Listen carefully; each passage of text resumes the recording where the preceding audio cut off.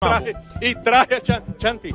Me hacías falta en el día de ayer. Es verdad, sí, yo- a mí tú también. De Sí, hecho, no verdad. hablamos, pero hoy sí vamos a hablar. Y, y al gordo que se sienta aquí, que se cuide. Y que no coma tantos espaguetis. Mira, eh, quiero hablar de Francisca Lachapel, señores, porque ha dado noticia eh, a través de sus redes, a través de diferentes medios de comunicación, por una entrevista que dio, donde pues dice que ya encontró a quien podría ser el padre de sus hijos, se encuentra enamorada. Esto ha puesto a todos sus fans a nivel mundial contentos, muy alegres. Ahí está, bueno, tenemos unas imágenes ahí donde ella está también, previo a esto, porque lo hizo muy paralelo a presentar su libro Una reina como tú. Eh, eso es sabido que los artistas cuando van a presentar libros o tienen algún proyecto dan sus entrevistas y dan sus declaraciones para la prensa, A para a vender modo de primicia, claro, para para ayudar, ¿verdad? Porque hay que ayudar con estas declaraciones. Así los fans estamos contentos con esta ¿Y noticia. a quién tú ¿Y crees esa que es la ella- Chapel? Sí, Esa así es, esa es la Chapel, una de las figuras más queridas de la televisión ¿Y a quién le ella? ¿A internacional quién le por los ella temas de, de, de- de- de lo que ha pasado para llegar donde está, Pero vamos a ver los un obstáculos. Deja Vamos verla, a ver. Con el, el permiso de Univisión. Sí. y a, a- a no saber dónde voy, a no tener dinero. Cuentas que cuando eras pequeña le pedías a Dios que te, que te llevara porque sentías que era más fácil marcharte que quedarte. Pues sí, es que cuando una niña vive en una tormenta como la que yo vivía, hay muchas cosas que tú no puedes entender. Y los adultos envueltos en sus mismos líos no se toman el tiempo a veces para explicártelo. Entonces tú llegas a pensar, a lo mejor yo soy el problema, a lo mejor yo soy el estorbo. Entonces empiezas a decirle cosas como Mira, esas a ¿Y Dios. a quién ella le tiró En tu eso de casa que ella volaban tiene su verdadero todas las cosas. Sabes que ella era una mujer vasos, casada y ella duró dos años y medio con su expareja, quien fue su esposo. Y bueno, pues no terminaron como pensaban, siendo... Pero fue, co- fue como muy rápido. Sí, que se fue muy terminó. rápido, fue muy efímero porque tú sabes que se tuvo que ir Sí. a esto, a, a buscar sus sueños en, en Univisión y, y en la televisión internacional. Lo importante de esto es que en la puesta en circulación de su libro, pues ella dice que revela detalles que no ha dicho y que la gente no sabe. Así que así están las cosas por ahí, todos nos alegramos. Y por otra cosa que nos alegramos así. también es por Georgina Duluc. Ujú. Oíste, Iván, nos alegramos por Georgina Duluc. Oye, qué buena Porque- noticia, ¿eh? Que yo. Porque, no, porque te dije que iba a porque hablar de se ese sabe tema. que tú fuiste de los primeros Te dije- que auspiciaste ese gran trabajo con Georgina. Entonces, las Y la cosas verdad hay que decirlas. las cosas buenas hay que resaltarlas y es que a partir del 5 de abril estará en No, no, pero teatro Georgina con una comenzó imagen sola. Georgina comenzó sola. Eh, Georgina necesitó del apoyo de con mucha una gente y tú fuiste de los que la apoyaste. sensual, impecable, sí, porque no estén tirando veneno porque no quiero que me, me digan cosas ella, feas. ella, ella iba mucho a la a siempre joven, pues nosotros éramos amigos Claro. cercanos. Recuerdo, recuerdo. Y Iván, ¿tú apoyaste a Georgina? pero ella no, ella nunca estaba. Yo quiero muchísimo, yo la quiero muchísimo. La Eh, pregunta, la, la pregunta directa, la pregunta directa se eh, no, pero directa. en el trabajo de la televisión, realmente ella lo que iba, veía y Pero cosas. tú la una- apoyaste. ella la apoyaron otras personas, yo, yo, pero, Pero tú la apoyaste también, Iván Ruiz. Va- vamos Bueno, a lo importante bueno. es decir que ella se estará presentando. La vamos a va apoyar ahora en esta obra, en este monólogo, Va a claro. ser un monólogo y hay que decir. Aló Dios, te habla Eva. Oye, estos terroristas Aló que yo tengo Dios, aquí. te habla de la Eva, se ve información fundamental. Iván, ¿cuál es la diferencia de apoyar y empollar? ¿Cómo de apoyar y empollar? Hasta tú, Ivonne. No, es que estoy Pero pensando qué mal vivir es ese. Bueno, señores, está dándole Porque la después vuelta me al dicen que yo tergiverso la información. y Yo estoy explicando No, claro cómo La- va. Apoyamos en esta obra. Georgina es una persona muy talentosa. Está dándole tiene la su vuelta. carácter, su forma, pero muy Muy Y talentosa. la imagen promocional Y es un gran de ser esta humano. obra, Eh. eh, de este monólogo, quiero decir que fue muy tentadora para la gente de las redes porque aparece muy sensual. eh, parece como una, no sé si la tenemos ahí la Ah, imagen. Hay una foto. Hay una foto Bueno, ahí. pues mientras va desarrollándose el guiso, vamos a mostrarla. Vamos a porque hay que- mostrarla. Hay que, apoyarla. Sí, señor. Señores, a nivel mundial hay que reconocer el talento, la pegada y el momento en que está viviendo Romeo Santos. No hay día del mundo que pase sin una noticia alrededor de él. Y ese es el caso que ahora nos ocupa. Por ejemplo, Romeo lanza una producción que se llama Golden, a la que tuvimos la oportunidad de asistir el año pasado. Y dentro de esa producción hay un tema que se llama Perjurio. Pero ¿qué pasa con ese tema? Ese tema tiene unas letras que mucha gente quizás no la ha interpretado desde el sentido poético con que él la escribió. Y con Diomelo esta mañana conversábamos a través del chat sobre esa situación, que hay eh, metáforas y hay palabras y hay insinuaciones que no necesariamente son para destacar o para denostar. Romeo Santos genera una nueva polémica con la letra de Perjurio, un tema que forma parte de su producción. Y las letras dicen, violé tu piel y tu nobleza, lo más puro por una noche de placer en un perjurio. Dice la canción, deseaba probar de tu cuerpo, caíste en mi trampa, antojo sexual, 18 primaveras que ibas a cumplir. La gente ha malinterpretado esto y ha creído que él está escribiendo al perjurio y él dice que como poeta, él es un relator de las cosas de la vida y que puede tomarse las licencias al estilo que se la toma. Perjurio Clemente. Perjurio Clemente. Podría ser que se la tomara con la libertad de la literatura, como lo ha hecho Juan Luis Guerra, como lo ha hecho Sabina, como lo ha hecho Joan Manuel Serrat. Esa es la historia, pero de todas maneras es destacable que mira cómo le está dando la vuelta al mundo. Claro que sí. Pero No, es un perjurio. No, él es un rey. Hablando de perjurio, Eh, Tenga cuidado con lo que usted va a decir. eh, saludar y felicitar a Memelo que se integra nueva vez a nuestro No. No. Bienvenido, No. Diomelito. No te veías hace Llegó. tiempito, Diomelo. Qué vacaciones bueno. forzadas. Cogió sol Fidodito.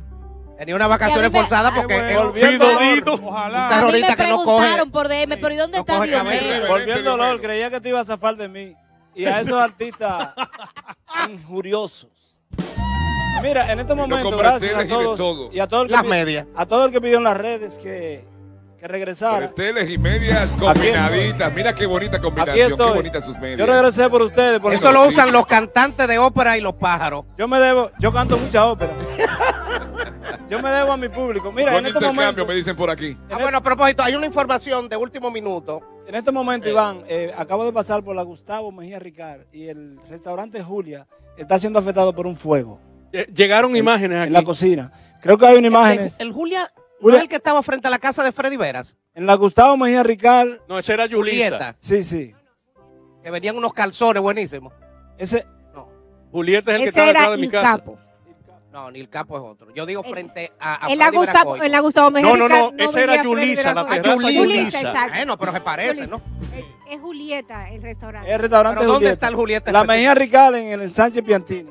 Detrás de, Manuel de detrás Jesús de, detrás, Acrópolis. estaba en, en- en- los bomberos ya estaban ahí. Hay unos bomberos ahí, pero yo vi también como eh, sin manguera, con, con lata. Y yo no entiendo. no, a lata no, no, no. Vamos a dar la información como es. Eh, eh, hay manguera, pero también hay gente ayudando con lata. Ah, bueno, ¿me a- entiendes? actitud de la gente. No bien. pude, no pude grabar eh, con el celular. Maro- Marocha. o ¿Cómo Marucha. Ese es el que era Marocha. Maru- Maru- Marucci. No, no, no, no. Ah, no, porque, porque Maro- Marocha era Marocha que está cerca de Blue Mall. El Julieta. Sí. Ese es. Ese, Ese es. es. Ah, ese es. Gustavo Mejía Ah, no, ahí va la crema de Aquí este país a desayunar. Ahí van todos los, los millonarios. Eh, Ahí, eh, tiene un video de Miguel Ángel. La crema de este país porque es carísimo. Míralo aquí el video. Ah, miren el video ahí. Acaban de, de enviarlo. Es detrás de. Detrás de se En, fue. en este momento, el restaurante Julia, Míralo ahí. Julieta, Julieta, ex Julieta. Marocha, porque la, mucho, yo lo conozco por Oh, Marocha. Dios, qué Sí. pena. El restaurante Julia que está en la Gustavo Mejía Rical entre Lincoln y Churchill. Exactamente. Entonces, eh, para que traten de evitar pasar por ahí. Mira eh, otra imagen. mi- Mira, miren otra imagen ahí en video. Acércalo lo más que pueda. El restaurante Julia, ex Marocha. Julieta, Esa es la telerrealidad. ex Marocha, está en este momento eh, siendo eh, por un siniestro, ¿no? Y sí. que ya daremos más información este más adelante. Adelante. Sí, Adelante. tenemos ya Clemente. dos informaciones. La primera es, se escucha un run en la ciudad de Nueva York. Me llaman de para allá para confirmar y preguntar sobre una presunta gira que el Cata quiere hacer. Como presunta gira. El Cata es un artista que tiene mucha incidencia Inteligente. a ¿no? nivel internacional. Me están preguntando sobre eso y ¿Pero a qué realmente va el Cata de gira? no, espérate, papá. Calma, calma. Si el Cata está planteando una gira por diversos estados de Estados Unidos, que es lo que me han dicho, ¿Pero con qué tema? bueno, Flow Montana. Ese es uno. Pero ese viejo. Vamos a un escuchar, vamos a vamos a un escucharlo chistete. montar. Vamos a escuchar. Está basado en una historia real. Sí. Soy la gala de los callejones. Mi cara tiene los tablones. En alta bajamos Jamaica y en la disco rompemos melones. Rodamos los perros italianos. Le llegaste. Mi jacuzzi con vista al Caribe. Y bacano lo hago en mi Kia. Tony Montana. Pican con coco y bucana.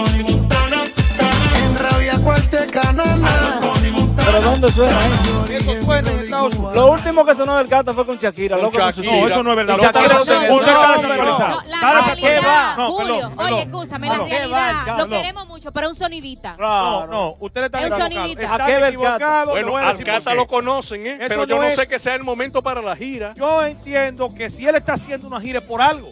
O por es algo. lo que me han dicho. Ahora, voy a indagar al respecto porque estoy escuchando ese, ese rum rum desde Estados Unidos. Ayer me estaban llamando la mañana de hoy por igual que el Cata amenaza con hacer una gira. Pero amenaza no, amenaza Pero no. Él no tiene que con una gira amenazar tiene que una estar gira. sonando Bueno, algo. por, Claro. suer- por suerte los vuelos están suspendidos por la tormenta que se avecina. No, no está Pero suspendido. yo no creo que- No hay vuelo hoy. No, Necesito no, no, que bueno. me den 20 segundos para desarrollar el siguiente tema. Miren, señor. Dale. Dale.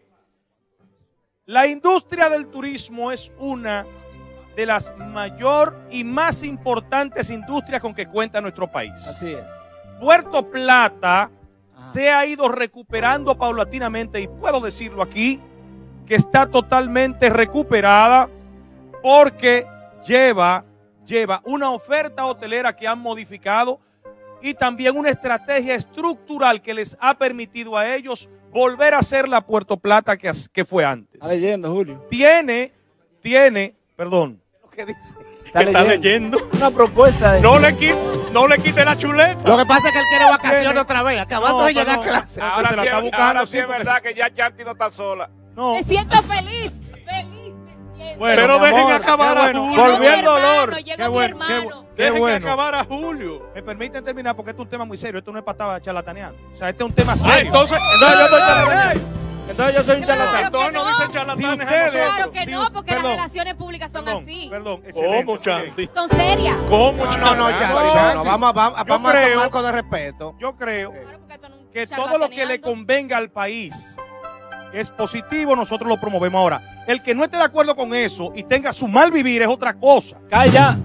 Es otra cosa. ¿Qué quiero decir con esto? El concierto de Medrano. El 31 de marzo tenemos un gran concierto en apoyo a los artistas nacionales e internacionales. Pero ¿qué quiero también dice ¿quién va a conducir? ¿Quién lo hace ese? ese Bueno, los... los decir- acción pública. perdón, perdón. Cuidado con eso. Perdón. ¿Quién hace ese espectáculo? Perdón, perdón. ¿Quiénes van a conducir ese evento? Sí. Los animadores más importantes de este Ahí país. está Julio Clemente, De seguro. Y dentro de ellos está tu humilde servidor. Ahí era la perorata. la propuesta. Ahí, todo, todo. Está todo. bien. De ahí era la perorata. Oye, Julio Clemente, tanta vaina, se fue a la tormenta, re- eh, Puerto Plata se recupera bien. para caer en que él va a conducir un evento Exacto. el 31. Ese es mi hermano Y Julio, así se la- hace, Julio. Pero de Claro, quién es el reírme mucho ni pelear mucho. Sí, de ¿De no, quién es el pero- espectáculo? Perdón, perdón. Es verdad Me que imagino que si no toman a en cuenta Medrano. otro es porque no tienen las condiciones. Bien. Así se habla, Julio. Lo que quiero significar es lo siguiente. Se está planteando la misma estrategia estructural para Samaná. ¿Tú sabías que el primero iba a ser el de Samaná? Sí, Pero es totalmente. verdad que ese anfiteatro lo regalaron a Medrano.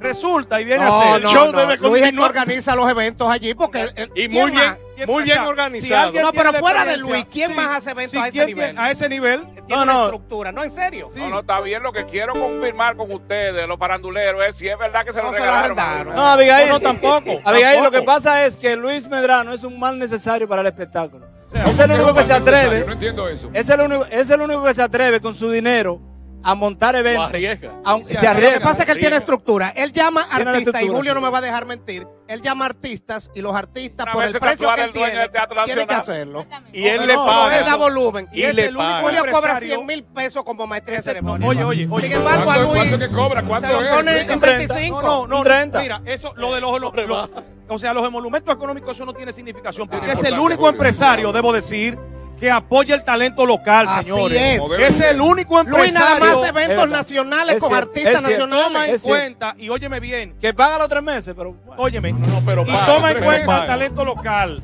No lo creo. y pone al talento local igual o más que el talento internacional en los escenarios donde lo presenta. Entonces, el que no esté de acuerdo con eso es otra cosa. De Le Luis, da una mira, supremacía, este teatro, y me lo confirmó el ministro de Turismo. Espérate. El primer anfiteatro iba a ser de Samaná y un grupito allí no se puso de acuerdo. Pero ¿cómo así? Entonces, yo no iba a forzar la situación. En Puerto Plata se abrió la posibilidad, pero el primero iba a ser en Samaná. Que ya el de Samaná va. Ya yo hablé que el ministro me garantizó por escrito, lo tengo aquí.